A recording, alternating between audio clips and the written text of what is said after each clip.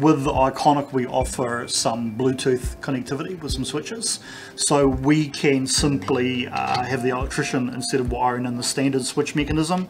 he can wire in a Bluetooth version and this will give us not only uh, switching and dimming via that little mechanism but we can also connect to that through a smartphone or a tablet directly so it's basically point to point